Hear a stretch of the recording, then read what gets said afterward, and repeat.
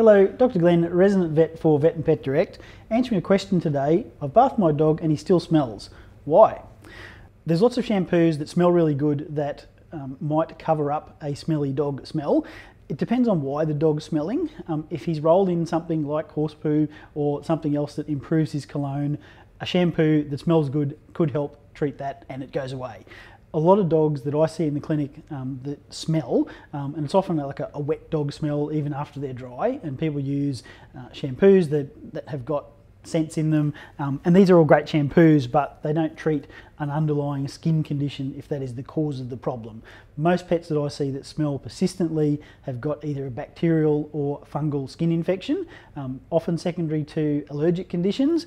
Um, these shampoos um, treat bacterial and fungal infections, but realistically, if your dog smells persistently, um, you should take it to your vet to get a diagnosis on what's going on because there's likely an underlying cause, an underlying treatment that not just a shampoo can fix. Um, these are definitely awesome uh, indications for um, bacterial and fungal infections or just bacterial infections. You really need to know what's going on. Um, your vet will probably take a sticky tape test and have a look at bacteria and yeast underneath the microscope to get a diagnosis on what's going on.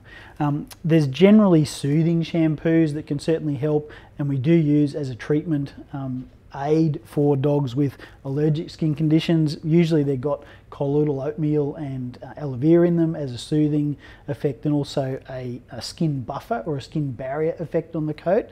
But realistically, if your dog smells really bad and it hasn't just rolled in something smelling bad, you probably need a vet visit. Um, if your dog has got persistent low grade allergies, yes, uh, antibacterial, antifungal shampoos until you get infection under control can be important, and then longer term aiding the barrier and the protective uh, coating on the skin can definitely help. Thanks, guys.